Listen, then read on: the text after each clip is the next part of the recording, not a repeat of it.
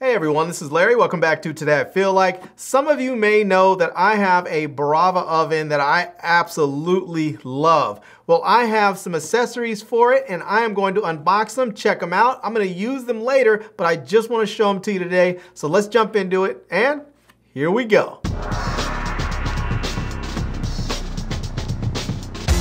All right, as we can see, I have a big pile of boxes right here. So let's just set some of these off to the side right here. And let's open up this one first.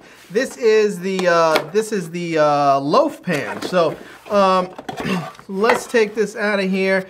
And one thing to notice about this loaf pan is that um, it's very, very deep. So you can see here, it's not gonna be like some of those uh, shallow loaf pans that you have. This one's gonna be really uh, pretty deep there so that you can make a loaf of bread or whatever you want.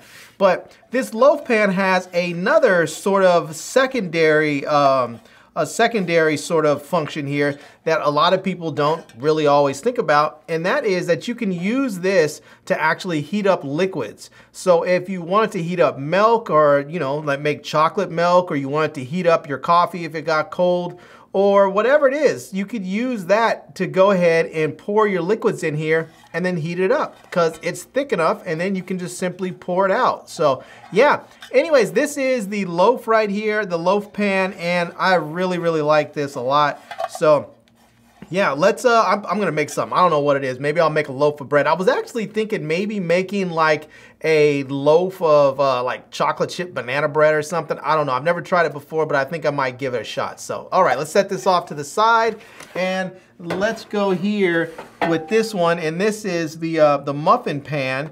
And uh, yeah, this is another one that's gonna come in handy because I've been thinking about cupcakes a lot lately and I'm thinking this would be a great way to make some cupcakes. And let's see here. Yeah, I like this because these are not super big. Like they see, I guess maybe they're the maybe they're the same size as regular, uh, like a regular muffin tin. But you know, one thing I like about this is that there's only six of them on here.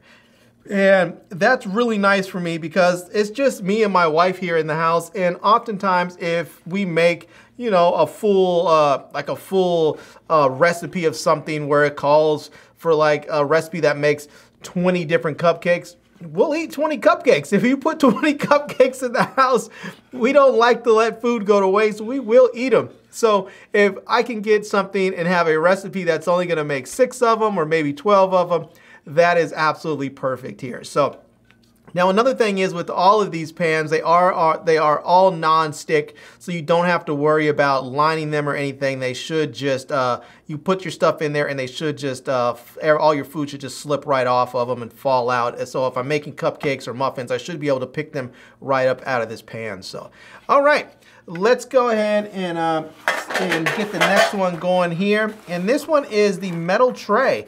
And uh, we've seen the metal tray before because when I did my, um, my Brava oven video, um, I had the metal tray that came with mine.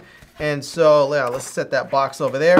And this is the metal tray. And this is nice because um, I actually already have a metal tray. But one thing that's nice about having a second one here is that if you're making stuff like, say, pizza, it allows you to have, um, you know, a second pizza on deck. So you can you can make one pizza and put it in there, and then you can go ahead and get it cooked. You can start serving pizza to your friends or your family, and then you can put this one in there. So while the, while the first one's cooking, you could be preparing the second one, and that way, when the first one's done, you throw this one in there, you get it cooking up, and you can have pizzas basically rotating through. So if you're cooking pizzas for friends or families, or maybe your kids are having a sleepover or something, you always have the uh, you always always have enough pizza and stuff ready. Now, Another nice thing about these are you can see they are labeled here. You have one, two, and three, and these are zones so that you know which zone to put your food because some of the uh, food that you're gonna cook is like, let's say um, last night I made uh, pork chops and, uh, and potatoes. So it was telling me to put my pork chops here in zone one and then put my potatoes here in zone two and three and I was able to cook them all at the same time and that way I didn't have to worry about preparing the potatoes and then putting them in the oven or something, or preparing the pork chops first and then pulling them out and then putting the potatoes in, I was able to cook them both at the same time. So yeah, this is always handy. If you don't have one of these, you should definitely get a extra one. If you don't have, if you only have one, get another one if you have a Brava oven. So, all right, this is the last thing here, and this is the uh, the cake pan. And let's get this open here and check this out. So, this is uh, let's see here. Let's get that off to the side. And this is the cake pan. Yeah, look at that. That's a good size cake pan. I didn't realize that this pan was going to be uh, this big. But yeah, this is a good sized cake pan. It looks like I'm gonna need to wash it a little bit uh, before I use it, which you should do. You should wash all of these pans before you use them because, you know, they get packaged and they're shipped and, you know, whatever happens. So make sure you wash these before you uh, use them if you're pulling them straight out of the packaging. So, all right. But yeah, this is a really nice sized cake pan. I can see myself, uh, I can see myself making a nice cake. And this is enough. This is probably enough if you are serving cake for like, maybe four people or something. But if you are in a household with like I am with two people, a cake this size is perfect because it's enough that you can eat the cake and come back to it a few times and not have cake so long that it gets stale and you don't want to eat it. But also it's not such a huge cake that you're basically just gorging yourself on it trying to finish it. So yeah, all right, there we go.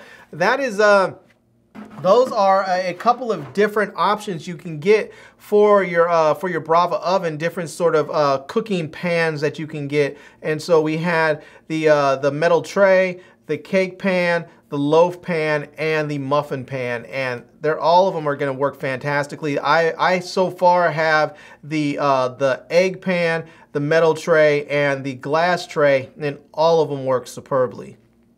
All right, everyone, so there we have it. That is it. That is a look at these Brava accessories. And again, we have the cake pan, we have the loaf pan, we have the metal tray, and we have the muffin pan. And yeah, these things are absolutely fantastic. And I'm gonna set these off because they're clanking around and making noise. But anyways, these are all going to be great. And I already love the accessories that I currently have. These are gonna be just that much more helpful for, uh, for cooking some really, really cool stuff. So anyways, I'm gonna leave links to them down below in the video description so that you can check them out. I'm also gonna leave links to my Amazon page and my social media contacts so you can reach me elsewhere so that you can see all the other products and services that I've reviewed over time.